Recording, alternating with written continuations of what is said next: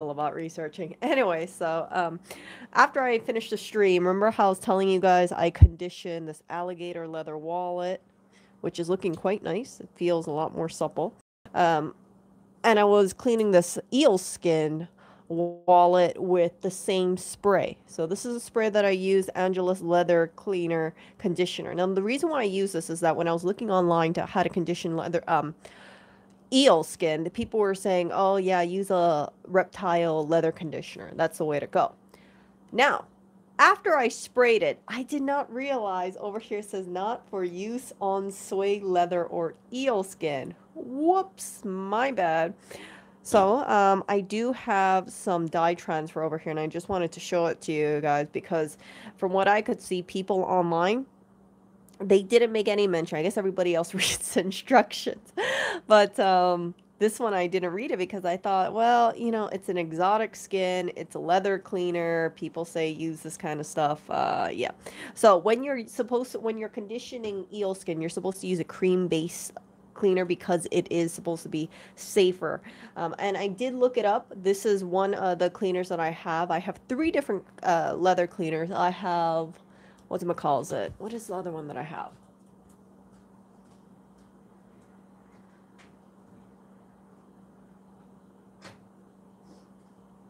Okay. So I have this one, Meguiar's Leather Cleaner. I do recommend this for LV bags. Um, this actually works quite well. Um, and then I also have Chamberlain's, which I use for a lot of stuff. And then for snake skin and alligator, you can use this as well.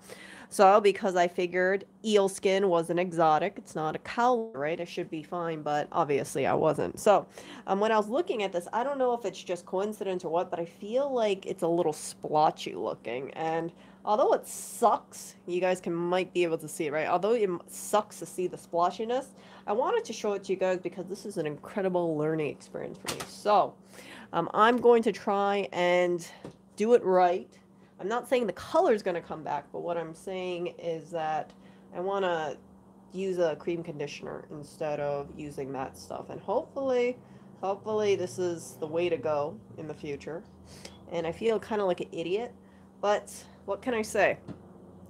It's very important to kind of have these kind of experiences where you just say, yeah, I kind of screwed up that that wallet, but it's okay. You know, it's just a wallet. And whenever I look at this, I'll be like, man, you really got to read instructions. Um, so I'm going to just put this over here. I don't want to use too much over here. Let's see how this works out. Hopefully I don't have dye transfer. But uh, if I do, well, that's because my dumb butt used the wrong thing. So you can also see right over here. I don't know if it was in the original one, but I like to think, oh, see, we have more over here. I like to think that I caused it. Um, I didn't take a picture of this earlier. I should have. It kind of matches the color of the wallet, though, doesn't it? Hmm. Let's see here. So we'll try this. I really have nothing to lose at this point. And we have more dye coming out here.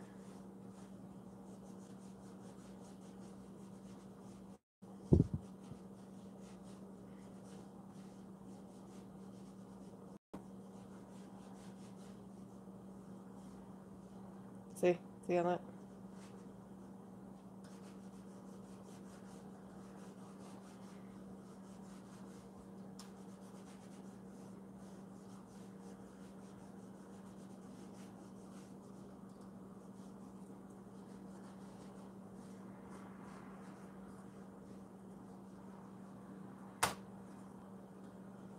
We will see how that looks like.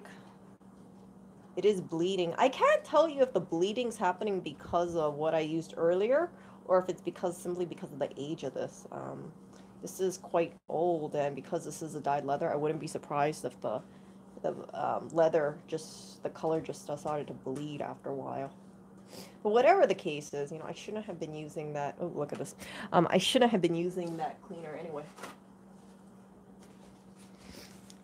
So now I feel like I have more dye transfer on here.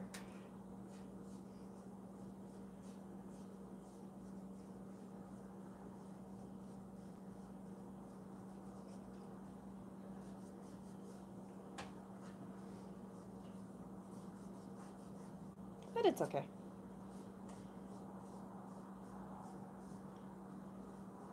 The fact that I'm getting so much dye transfer makes me kind of wonder if this came from the one earlier, the earlier cleaner, or if it's just a coincidence.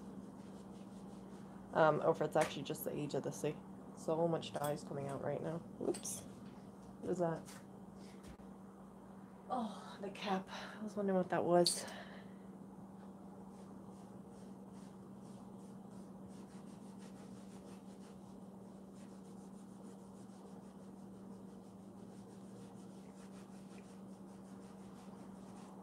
See that?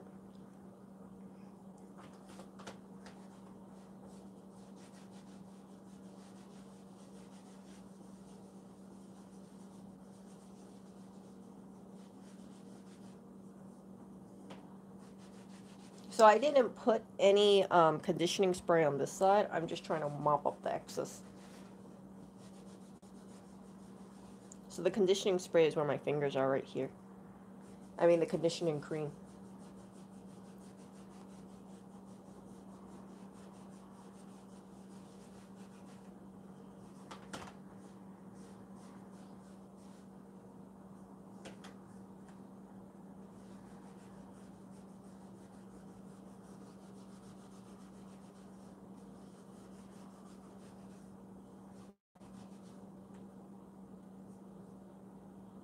What is this?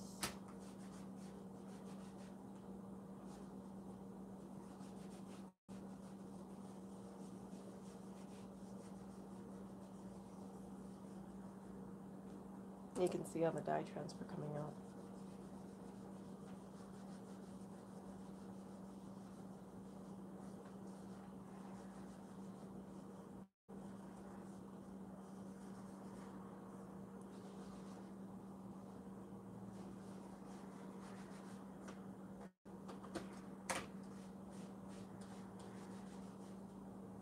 See, a lot of dyes coming out.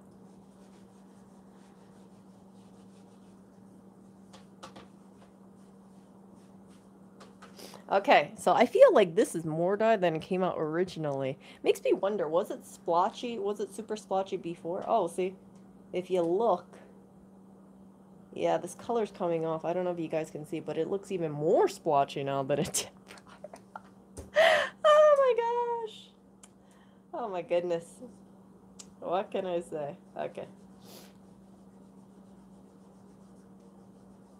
I don't know if it's just me. Because the color has to be coming from somewhere, right? You see that?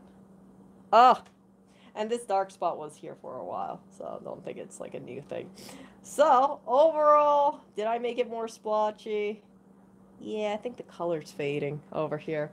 But uh, it was a very, oh my goodness, it was a very eye-opening thing for me. Oh, do you see this? It looks even worse now. We'll see how it looks like when it dries, but um, yeah, now I'm kind of thinking to myself, like, yikes, yikes, yikes, yikes, yikes, yikes. I tried to do better on it, and I feel like I just made it worse. Yeah, so we will see what happens with this thing when it dries. You can see more splotchy over here. Uh, like I said, I don't think I don't think it was a cleaner. I actually think it was it's actually the age of this wallet but i could be wrong you guys if you guys want to tell me what you guys think you know feel free to let me know definitely open to hearing what your thoughts are about this um, i'm gonna let this dry overnight and you can see look at all look at all this dye that came out jeez um, in this case it just makes me kind of wonder like for this dye because it's not uh, i cleaned it with leather cleaner actually so I cleaned it with two different cleaners. This one wasn't recommended for snakeskin, so then I redid it with this one. And um, yeah, it's just like, I feel like this one is even worse. And um, who knows? Who knows? But uh, it definitely has a weathered look to it now. And um, what can I say? I will carry this wallet when it dries, and I'll be like, yeah, you guys, this is one of the downsides about this kind of thing. Just a little. Oh no, what happened over here?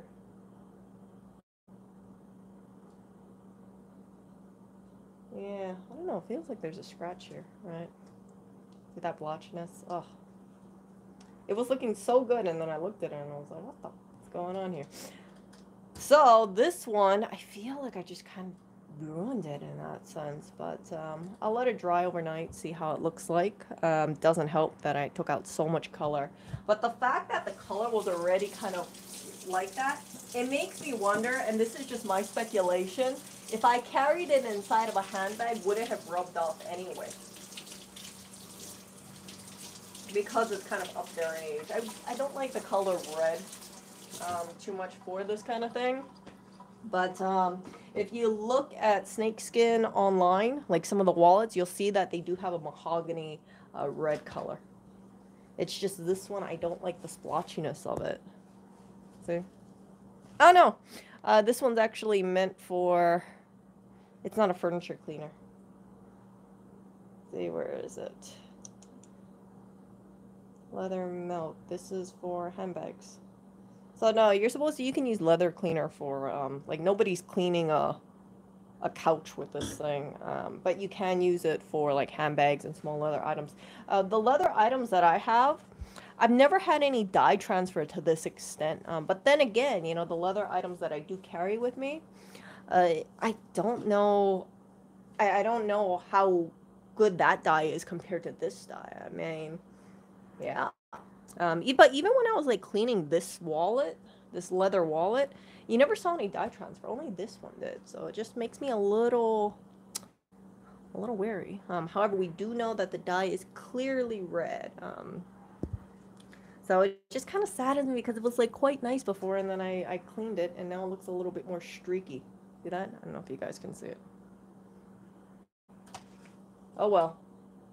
I will take it as is part of me wants to see if I keep conditioning, and I know this would not be recommended by anybody, but part of me wants to see like if I condition it, what will happen to the leather um, moving forward. You see where I'm getting it? Like, will the color keep coming off more and more? Who knows? But uh, I don't like how it looks like right now. Then again, sometimes when I look at leathers, uh, when it when it's wet, it looks uh, slightly different than when it does when it dries. So I think I have to let this fully dry and see how this thing looks like. Maybe, just maybe, I can salvage it somehow. We will see. Um, either way, incredible learning experience for me. Unfortunately, my little thoughts about uh, salvaging it the other way didn't work out. And yeah, see these little dots over here? This was already there. This little dot was already there as well. But yeah, I should have taken a picture of the before and after, and then you guys could have seen how it looked like. You can see splotchiness right over here, splotchiness right over here, and right over here. So I take this as like a what not to do with your leather items. Um, don't use the wrong cleaner, and uh, if you do, have something that is kind of up there in age, be a little mindful. Uh, when I was looking at the previous stream, I was kind of looking at it, and I thought that it did look like it was a little discolored, but it looks like obviously because you can see all this uh, dye transfer. It's just getting worse and worse. I think I'm going to stop over here and just pray, just pray when I wake up tomorrow. It's not too bad. Let's see. Yeah, we will see. We will see. Um, but that splotchiness over there, arg. Part of me wants to be like, grr, scrub the thing. Um, you're not actually supposed to use too much leather cleaner on this stuff either, because if you do, um, it doesn't allow the skin to breathe. And I know I use a lot of leather cleaner on here. Yeah. But uh, we will see. Let's see. Over here. Maybe I'm just being nitpicky about this stuff. So, yeah. Again, I'll just let this sit overnight. See how this looks in the morning. And no matter how it looks like, splotchy or not splotchy, I chalk this up as a very important learning experience for me. I do really like uh, eel leather a lot. I think it's really nice and it's really soft, even though it seems kind of funny for me to talk about it like this to you guys. You can see, you can see that splotch over here. See that? But um, other than that, oh my gosh, look at all the splotches.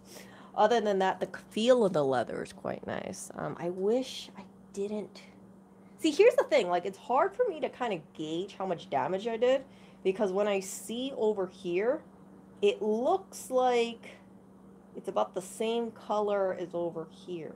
See? this is over here. So I don't know. Maybe I'm just being so nitpicky. Maybe it's 3 a.m. and I really should go to sleep instead of thinking about this leather wallet. Anyway, so I'm gonna talk to you guys later, and uh, just be mindful about uh, when you condition things like eel leather. Will this prevent me from picking up another eel leather item? No way. Um, but I will definitely be more mindful about uh, conditioning in the future. I think it's going to eventually grow on me. Okay, you guys. See ya.